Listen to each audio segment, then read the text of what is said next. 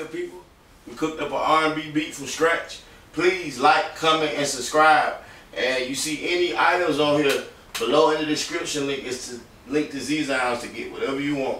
Please like, comment, and subscribe, and tell me what more y'all want to see.